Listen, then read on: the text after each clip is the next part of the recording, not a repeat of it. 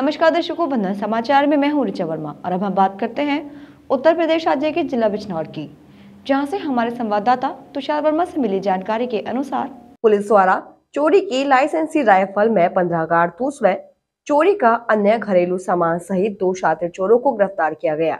बता दें कि अफजलगढ़ थाना क्षेत्र में बीती एक मई को मनीष कुमार जैन द्वारा अज्ञात चोरों द्वारा उनके घर से लाइसेंसी राइफल व घर में रखा अन्य सामान चोरी कर लिए जाने की तहरीर दी गई थी, जिसके चलते एसपी ने तत्काल घटना का अनावरण कर शीघ्र गिरफ्तारी के लिए पुलिस को निर्देशित किया था।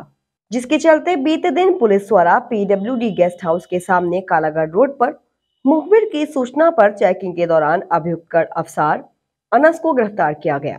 साथ ही एक साथी बाल अपचारी को पुलिस अभिरक्षा में लिया गया, जिसकी निशानदेही पर पुलिस ने चोरी की राइफल में पंद्रह कारतूस व अन्य घरेलू सामान अमला नदी के किनारे झाड़ियों से बरामद किया।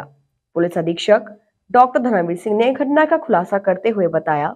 अफजलगढ़ के किला मोहल्ले के मनीष जैन, जिनकी लाइसेंसी 315 बोर्ड की राइफल 28 अप्रैल को चोरी हुई थी, घर में थी, कहीं बाहर गए हुए थे।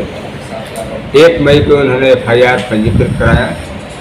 पुलिस ने तत्परता से कार्रवाई करते हुए अफजलगढ़ थाने के तीन अपराधी थे, जिसमें एक बालकचारी है, अनस और एक अन्य। इनके कब्जे से राइफल एवं कारतूस बरामद हुआ है। बरामद करने वाली पुलिस टीम को पंद्रह हज़ार रुपये से पुरस्कृत भी किया जाएगा। और इसी के साथ जुड़ रहे बंधन समाचार के साथ।